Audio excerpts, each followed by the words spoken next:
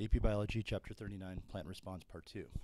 In Part 1, we talked about auxin. Remember, auxin elongates the opposite side that's um, furthest from the light, and that causes the plant to bend toward the light. Here we have the meristem area. This is where auxin is produced. So if you cut off the tops of the plant, or the tips of the plant, or the roots tips, then you're going to have no more auxin produced, and it's not going to be able to bend toward the light. The correct answer. Cytokinins are the second type of plant hormone that you need to know. You don't have to write down the top here, but you should write down the bottom part.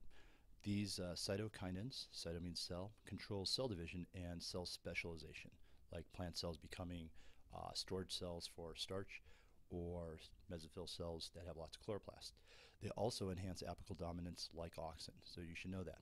Auxin and cytokinins enhance apical dominance, which means that we're going to have the plant growing more up and down, and when you chop the tips of a plant, then it grows more sideways.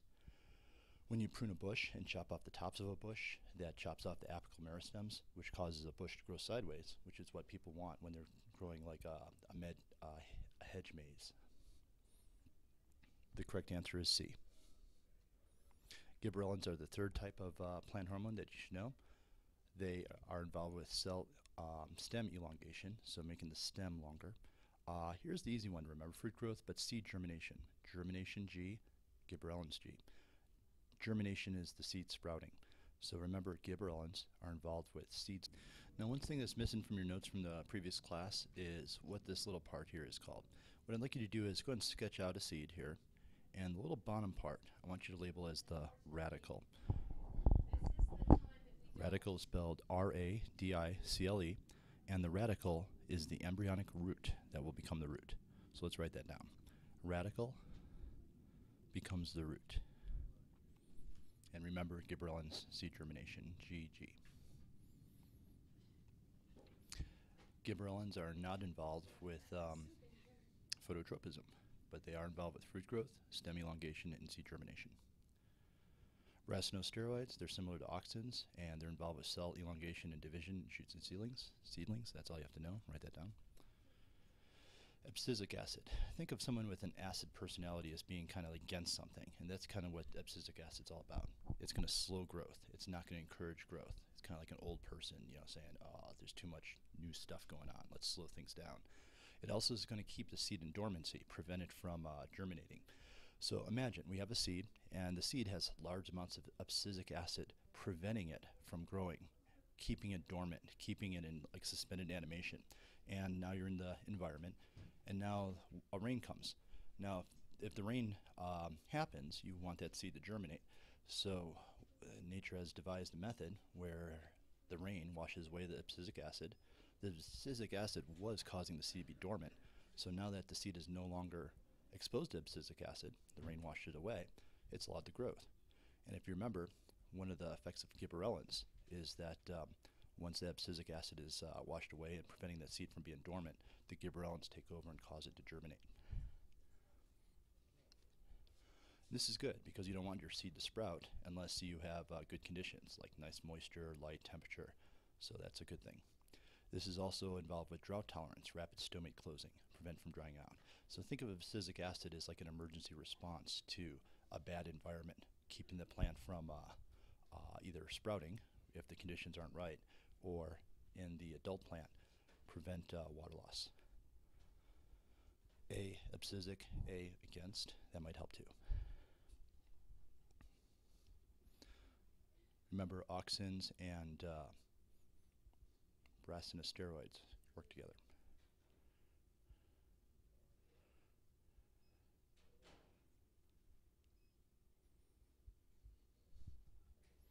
All right, ethylene's an interesting one. It's a gas released by plant cells, and uh, write this down. It has two, three responses. It slows stem elongation, it thickens the stem, and curves this uh, for horizontal growth. There's also another um, uh, thing ethylene does. It's called apoptosis. We'll talk about that in a second. And the biggest thing is fruit ripening, so let's underline that. All right, apoptosis and leaf abscission. So what ends up happening is in the fall, the um, uh, ethylene will cause the apoptosis or cell death of the cells at the base of the leaf and cause the leaf to fall off. Now it's good because the leaf is going to lose water during the winter. So if you can lose your leaves during the winter, That means you can prevent water loss during the time when you're not doing much photosynthesis. So leaf uh, abscission, let's write that down, is when the leaves fall off, and that's caused by ethylene. And then the ethylene um, basically will create the uh, signal transduction pathway for the scar tissue to form to prevent more water loss. Apoptosis is unplanned uh, cell death. Remember, we had apoptosis between our fingers to make our distinct fingers. All right, here's something interesting. Let's write this down. Fruit ripening. Hard tart fruits to protect the developing seed from herbivores, and a birth of ethylene triggers the ripening process. So if you really want to uh, have your apples or bananas ripen faster, just put it in a plastic bag. The ethylene will build up, and they'll ripen a lot faster. It's a positive feedback system, and you should write that down. This is a great example of positive feedback. As more ethylene is produced, we have more ripening, which produces more ethylene, which produces more ripening, so forth and so on. If you don't want to have your apples or bananas ripen, and this isn't true of all fruits, just uh, many fruits, then you um, you know at the store you have bags with plastic uh, plastic bags with holes in it. The holes allow, or those nets allow that ethylene to escape. All right, so you can read this. One bad apple spoils the whole bunch because the ethylene produced by the bad apple allows the other ones to ripen faster, which um, causes them to spoil faster. But if you want to ripen your food faster, your bananas, your apples, then uh, just put a ripe, uh, ripe apple or banana with the things you want to ripen. High CO2 storage uh, reduces ethylene, so a lot of stores uh, store their fruits uh, in CO2 to reduce ethylene to keep them fresh longer. And the right answer is D. Auxins are A. All right, so let's uh, review these six hormones, and this is the major content for chapter 39, plant response.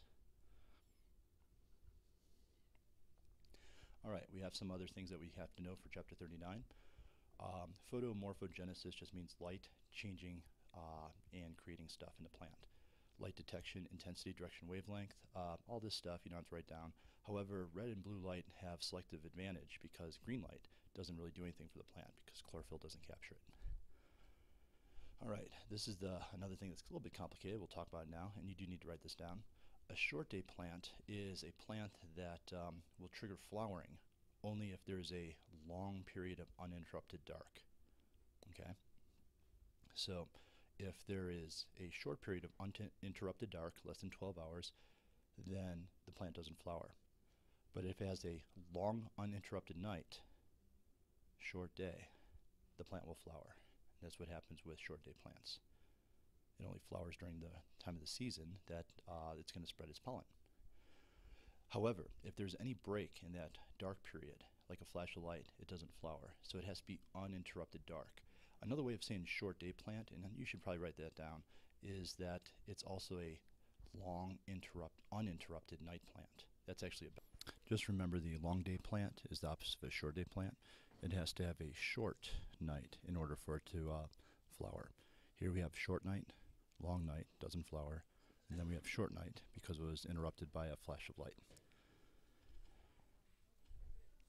You should know the difference between a short day plant and a long day plant. Let's go and review that now. Is there a flowering hormone? We can uh, do an experiment with this. If this plant is flowering and then we uh, combine the, the vascular tissue of the two plants together, the one plant that's already flowering can trigger the other plant to flower, letting us know that there was some chemical being sent from one plant to the other to cause them to flower. Circadian rhythms are internal 24 uh, hour cycles that plants have. Morning glories, glories open up their uh, flowers in the morning, and uh, the exact mechanism of how circadian rhythms happen is unknown. All right, last or one of the last things we have in chapter 39. How does sprouting shoot know to grow toward the surface from underground? How do you know what's up and what's down? The answer is um, gravitropism. Gravitropism is movement in response to gravity. And inside the root cells, we find these little statoliths.